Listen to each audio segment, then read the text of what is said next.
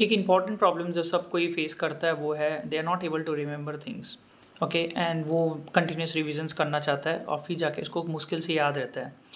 मेरे को एक चीज़ मैं आज आपको एक, एक टेक्निक बताऊँगा जो कि बहुत सिंपल है। जिससे आप चीज़ों को बहुत लंबा समय तक याद कर सकते हैं। फॉर एग्ज़ाम्पल आपको अपना नाम याद रहता है आपको अपना पेरेंट्स का नाम याद रहता है आपको घर का एड्रेस याद रहता है।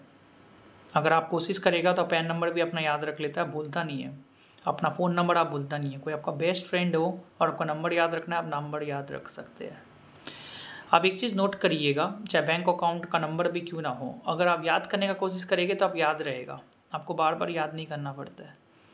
आप एक चीज़ सिमिलैरिटी देखिएगा, कोई भी चीज़ रिपीटेटिव होता है और आपको लगता है कि याद कर लेता है, कि हमको बार बार याद नहीं करना पड़े तो आप याद कर लेते हैं, क्योंकि वो इंपॉर्टेंट होता है। जैसे इनकम टैक्स रिटर्न में अगर आप फ़ाइल कर रहे हो और आपको पैन कार्ड अगर क्लाइंट का पैन नंबर होगा, अगर आप एक बार याद कर लिया पासवर्ड याद हो गया मोस्ट ऑफ़ द टाइम्स आप है ना बार बार उसको नहीं दिखेगा। क्योंकि आपको लगेगा, एक बार में याद ही कर लेते हैं ना।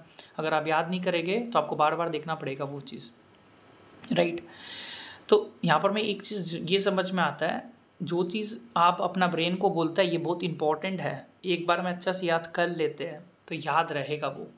सिमिलरली अगर आप पढ़ाई में भी अगर वैसे करो कि कोई चीज़ बहुत इंपॉर्टेंट है तो उसको रिलेट करने का कोशिश करो। ना what you can do well out year कि अगर कोई चीज़ इंपॉर्टेंट टॉपिक है तो उसको पहले तो विजुअली समझने का कोशिश करो कि बोलना क्या चाह रहे हो टॉपिक में। Try to relate it with your story या पर्सनल स्टोरी या कोई प्रैक्टिकल एक्सपीरियंस जिससे वो चीज़ याद रह सके और फिर उसको अपना दिमाग में सेटल डाउन करने का कोशिश करो कि ये चीज़ मेरे को लंबा समय तक याद करना है। This is very very important for me ये स्ट्रैटेजी आपका बहुत काम आएगा।